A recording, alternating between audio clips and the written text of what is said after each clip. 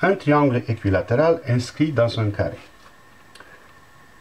De quoi il s'agit? ABCD est un carré de côté 10 cm. Et on a construit un triangle équilatéral BEF tel que les points E et F appartiennent respectivement au segment CD et AD. Démontrer que les segments CE et AF ont la même longueur et puis déterminer la valeur exacte de cette longueur. Je vais noter cette longueur avec x et on va montrer aussi que AF est aussi égal à x. Comment s'y prendre? On utilise la méthode des triangles égaux, particulière pour les triangles rectangles. Vous avez ici le triangle BCE qui est égal au triangle BAF. Pourquoi? D'abord, ils ont un angle droit, puis ils ont un côté égaux, on dit un côté égal, BE égale BF, c'est l'hypoténuse de chacun, et puis ils ont un côté BC égale AB. C'est le cas hypoténuse côté. C'est un cas spécial d'égalité de deux triangles rectangles.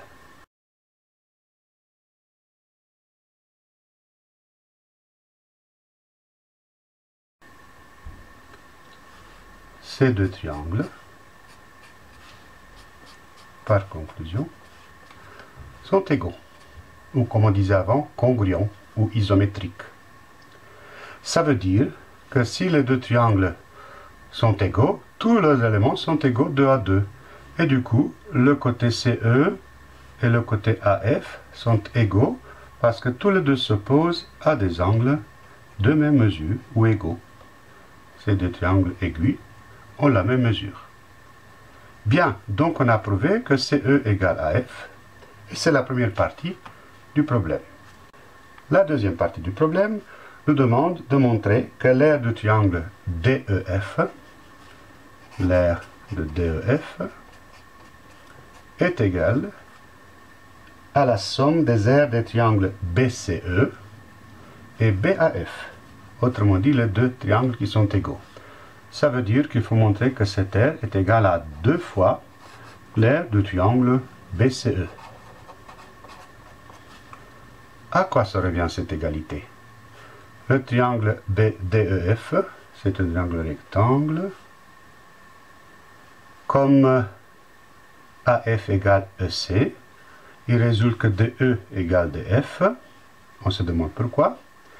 Autrement dit, DE c'est 10 moins X et DF c'est 10 moins X. Du coup, l'aire du triangle DEF, côté fois côté perpendiculaire, base fois hauteur divisé par 2, 10 moins x au carré sur 2.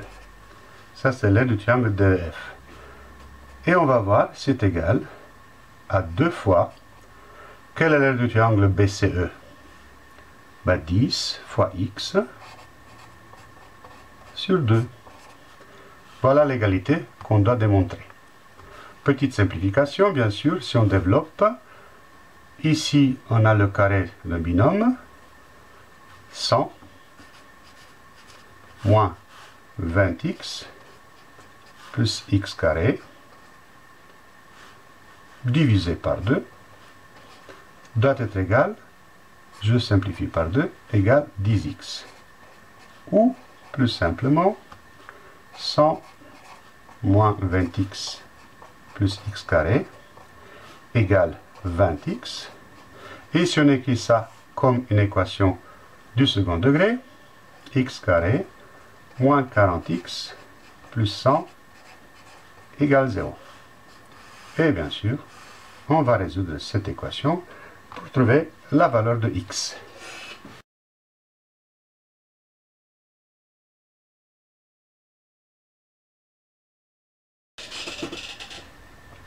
Récapitulons. On doit montrer que cette aire-là est égale à la somme de ces deux aires-là. Cette demande revient à montrer que cette équation est vraie pour un certain x qu'on n'a pas calculé encore. Mais trouvons d'abord le x de cette équation. Comme on est en S, on va se dispenser du discriminant et on va compléter le carré. x carré moins 2 fois a fois x, donc a c'est 20. Donc plus 400 tout de suite pour compléter le carré, comme dirait Al-Khwarizmi.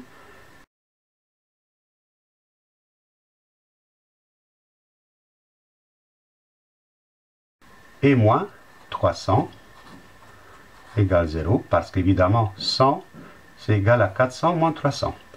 Qu'est-ce qui devient ça? Regrouper, factoriser, x moins 20 au carré, moins 300 c'est qui? C'est racine de 300 au carré, égale 0. Pourquoi j'écris ça? Tout le monde comprend. C'est a carré moins b carré. On factorise x moins 20 moins racine de 300, facteur de x moins 20, plus racine de 300 est égal à 0. Un produit est nul, c'est un des facteurs est nul. Ou bien x égale à 20 plus racine de 300, ce qui est trop grand, regardez, x doit être plus petit que 10, et là c'est bien sûr plus grand que 10, même plus grand que 20. Donc cette solution n'est pas valable. L'autre, x égale 20 moins racine de 300, qui est égal à 20 moins 10 racine de 3. Bien, donc x devrait être cette valeur afin que notre égalité, je rappelle que cette r est égale à la somme de ces deux-là, soit vraie.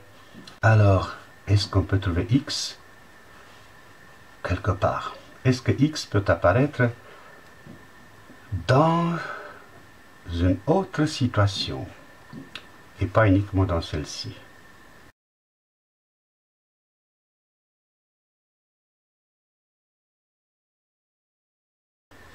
Trouver x. On n'a pas exploité tout ce qui se passe dans ce triangle équilatéral. Par exemple, on n'a pas exploité l'angle de 60 degrés. Ici, vous me dites combien ça fait? Attention, le triangle DEF, il est rectangle et isocèle. Bien sûr, l'angle DEF mesure 45 degrés. Et du coup, vous pouvez me dire combien ça fait le reste, CEB ou BEC BEC égale, vous l'avez calculé? Bien, vous avez trouvé 75 degrés. Et je vous dispense du calcul dans cette vidéo. C'est trop simple. Donc l'angle BEC égale 75 degrés. Ça veut dire que tout est connu dans ce triangle.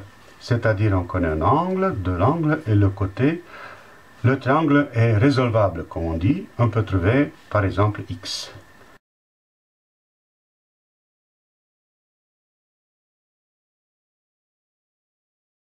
Quelle fonction de l'angle 75 qui contient le côté opposé et le côté adjacent? Bien sûr, tout le monde a deviné. Tout le monde a deviné que c'est tangente. Tangente de 75 degrés, autrement dit de BEC, est égal mais tangente de 75 degrés, on trouve à la calculette, et 2 plus racine de 3. 2 plus racine de 3. Ceux qui ne trouvent pas ça sur leur calculette, c'est qu'ils ont une vieille calculette qui n'a pas un calcul formel. Dans une autre vidéo, on peut montrer comment on trouve tangente de 75 degrés astuce, c'est tangente de 45 degrés plus 30 degrés. Mais ça, dans une autre vidéo.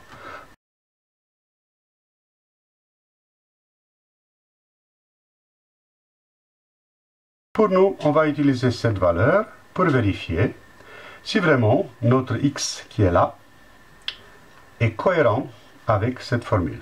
Autrement dit, si l'égalité est vraie pour ce x. Et on y va on remplace tangente de 75 degrés par, d'un côté, c'est 10 sur x, la définition, et de l'autre côté, c'est 2 plus racine de 3. Et c'est combien le x de, cette, de ce champ? X égale 10 sur 2 plus racine de 3. On multiplie en haut et en bas par 2 moins racine de 3, comme tout le monde connaît.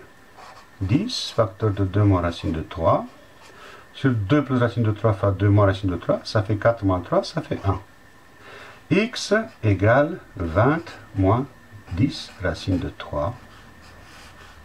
Cette valeur, c'est la valeur qui vérifie dans ce triangle BEC. Le côté CE est vraiment de 20 moins 10 racine de 3. Autrement dit, tiens, coïncidence, le x, en résolvant cette équation, qui était équivalente à la demande du problème, c'est le même x.